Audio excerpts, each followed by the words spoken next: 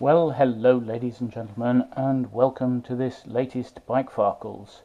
Today we're not actually farkling the motorbike, we're doing our boots, and what we're going to do is get a mirror shine onto the toe cap of the boot. And I'm going to show you how to do that without using the hot spoon method and various other methods that you might have seen or heard of in the military. so what do you need? Well, I'm just using ordinary Kiwi polish. There is a better brand of polish if you want to use it, which is called Saphir, and I'll link to that below. Um, but I'm just using Kiwi polish, and it's just ordinary black polish. I'm, I have here a 7% solution of isopropyl alcohol and water. So this is 99%, which is much too strong. So I've actually put um, a very small amount onto the saucer here and added quite a lot of water, which has given me the 7% solution. You can measure it out if you wish using measuring jug um, and you can keep it in a bottle for use. You won't use very much. I mean, you can, you probably can't see how much there is on here, but there's very, very little. The next thing you need is a glove. Now you can use your hand if you wish, but I would strongly recommend that you use one of these gloves. Okay, so if you don't have isopropyl alcohol, you can use rubbing alcohol if you've got it, or you can use vodka or gin if you wish, um, though I prefer to drink that. Um, it must be a weak solution, it must be under 10%, so whenever you, whatever you use, it must be weak. If it's too strong, it'll actually um, damage the shine on the boot, and if it's too weak, it won't work. So Somewhere between 5 and 10% is fine, and of course halfway between 5 and 10% is 7%. The other thing I've got is a duster. You do not need a duster as such. This is a, an ordinary shoe polishing duster. What I would recommend is that you get um, an old t-shirt, a cotton t-shirt, and cut it into about a foot long strip, about four inches wide, because we'll be using that to do most of the polishing okay. Now so what you need to do is you need to oops I don't know if you can right so one boot. Uh, these boots are about 18 months old. They've done about 24 25,000 miles on the bike. I take them on and off about three to six times a day. That's on and off three to six times a day um, and I use them five or six days of the week. So they're doing quite well. Now what you need to do is you need to polish the toe caps and the heels. Today for sake of time I'm just going to do the toe cap. You can if you wish do the sides but this is where it bends. So the mirror finish won't really last very long. You want it on a section that doesn't bend, okay?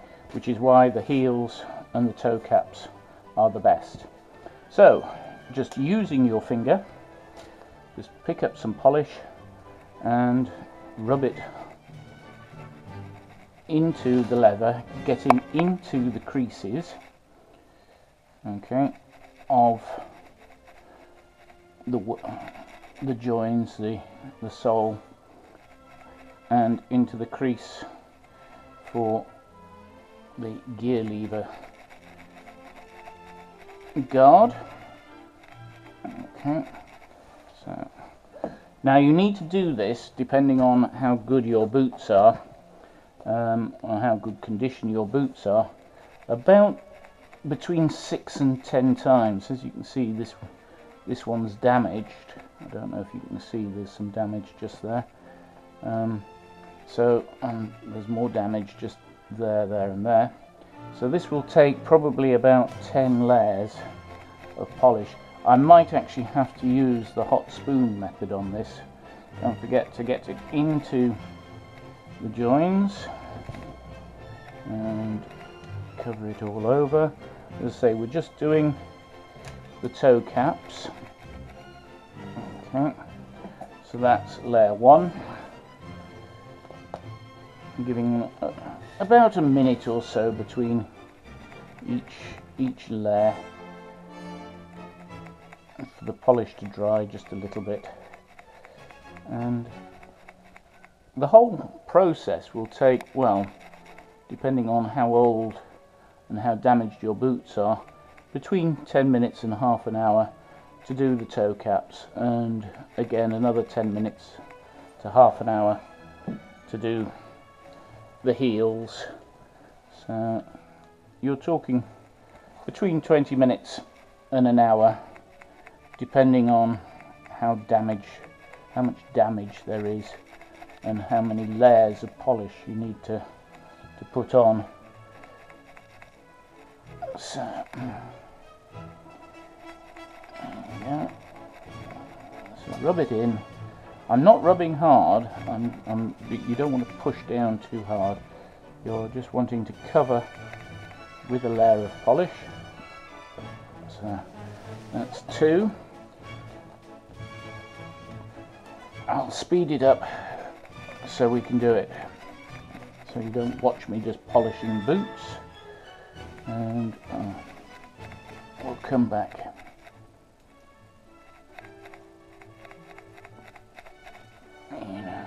few minutes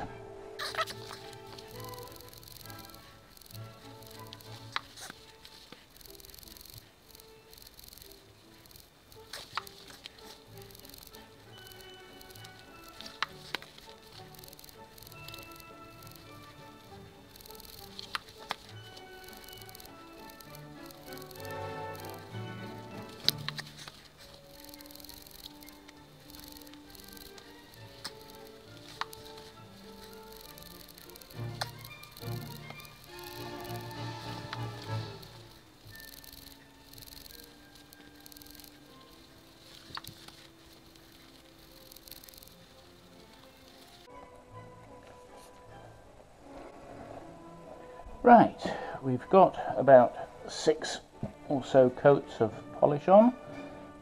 I can just see a little bit of the damage, but I'm not going to repair that today because that's going to need the hot spoon treatment. So, this is where the dilute isopropyl alcohol 7% solution comes in. Okay, get your cloth and you want to wrap it around your finger okay?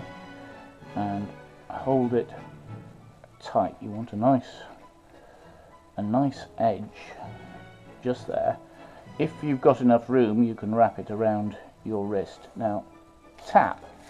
Now I don't know if you can see that but it's hardly damp hardly damp. And you don't want a lot. This is this is important.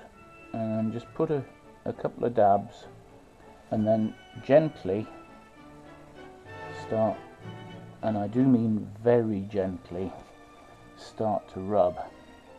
Okay? You don't want to put much pressure on at all. It's, um, it's very very gentle this. Okay. Now if you find that your boots aren't shining then it could be that your isopropyl alcohol solution is not dilute enough. Okay so what you need to do is make sure it is dilute enough. Okay. Right so let's as I say, I'm just stroking it. I'm not actually polishing. I'm just stroking. And you can start to see the effect just here. It's starting to come through. Just a little. So you don't want much. It's probably a bit too wet.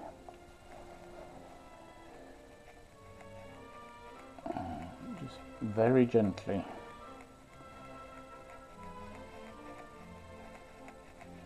rub the surface. What the alcohol is doing is it's helping to melt the wax and make sure it goes into the pores of the leather and by doing so it's making it much smoother and as you know a smooth finish is usually a shiny finish which is why we polish our motorbikes and our cars and so on. It's to get a nice smooth finish. And the water is helping to allow the cloth to slide over the surface. It's actually acting as a as a lubricant this point. Okay. I don't know if you can see it but uh, I can certainly see that there's a shine developing. So your polish on your toe cap needs to be dry. So leave it for about as I say 10 minutes before you start doing this. Okay. And as you can see. If the polish is dry. And of course these boots were cleaned with a brush and then polished normally with, let's say, with a normal polish so that they were clean beforehand. You can't do this on dirty boots, you've got to have clean boots, these were polished up beforehand. I don't know if you can see that, but I'm working in my garage and I don't actually have electricity down here, so I've got a little battery bank which powers an inverter. And unfortunately one of the lights that I've got doesn't actually draw enough power. And so consequently the battery bank, the inverter doesn't think it's actually using any electricity so switches itself off after about 10 minutes. So remember to get into the seams. You can probably see I don't know if you can see just there there's a, a line that needs doing there. Right we've got a, a basic shine on there. It's nowhere near ready yet but we'll start on second one. So I don't know if you can see there's there's not much liquid on here and that's important. Okay. You don't need much and you don't need any pressure. I'm literally stroking the leather. I'm not actually rubbing. I'm not oh, this is just stroking it very very gently. And as you can see it's, uh, starting to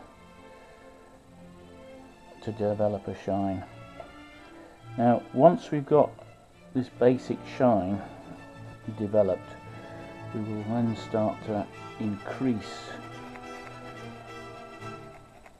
the shine.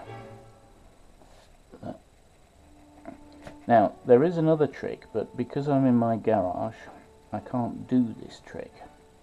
And this other trick is instead of just having isopropyl alcohol and dilute solution in a saucer, you can place an ice cube in the saucer Put the dilute solution of isopropyl alcohol on top of the ice cube, just pour it on top of the ice cube, and say I've probably got a total of two teaspoons of liquid in the saucer. So if you pour that over the top and then you just dab the cloth on top of the ice cube. You don't want it wet. Now this is very important. It doesn't want to be wet, it just wants to be damp. So if it gets too wet, you can see it's not very wet. Okay, just dry it off on the newspaper. Don't forget to work your way into the seams. So those are important as well. Now, I overran a little bit with the polish onto the creased bits. Now, although you will get an initial shine from that, as soon as you start wearing them, then you're going to have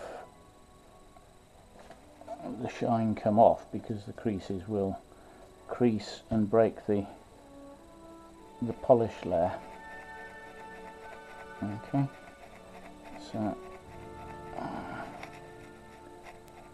I'm just checking that the light was still on.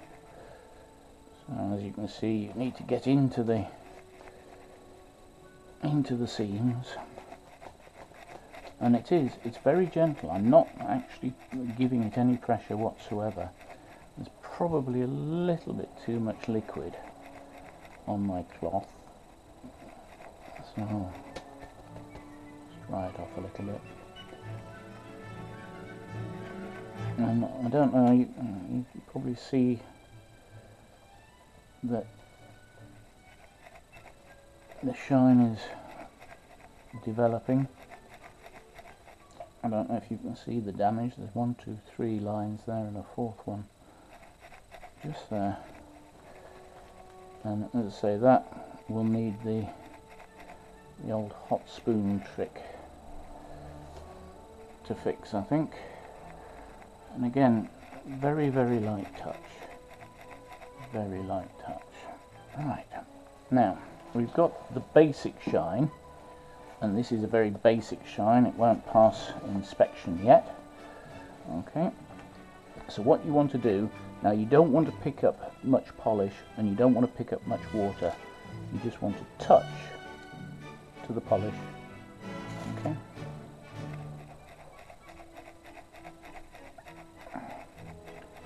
And what you're doing is you're just increasing the shine. You're just putting the polish on the areas that need it bit of difficulty getting into this seam at the moment. I don't know if you can see that. Shine is developing. Just touch.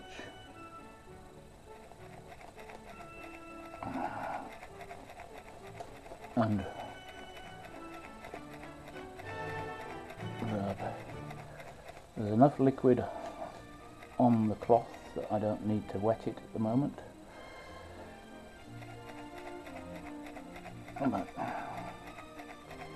Just very, very gently.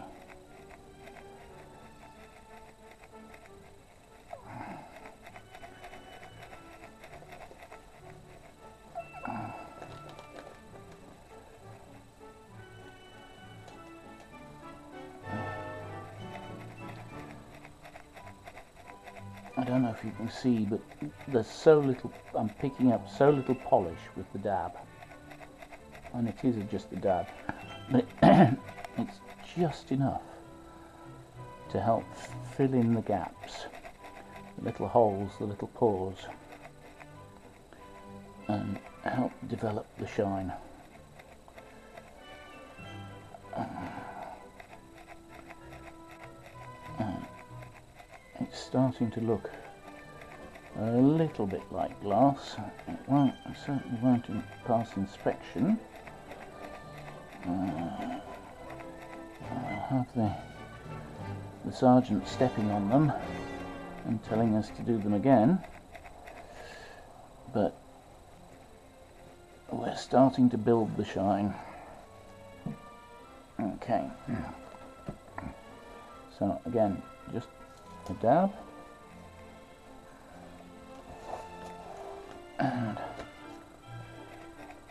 Again it's it, it's very very gentle.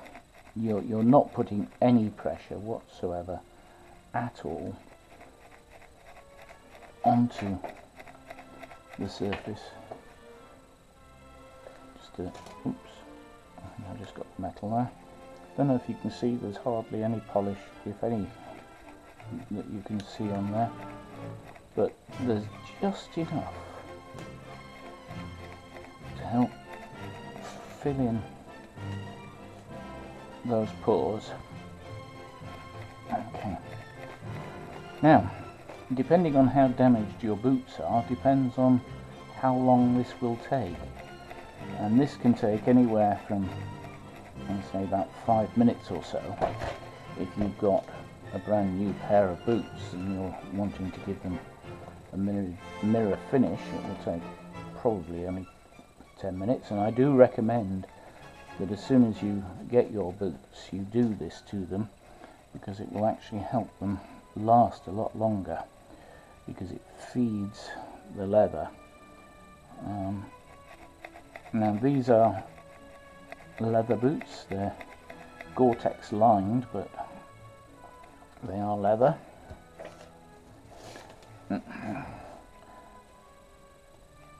and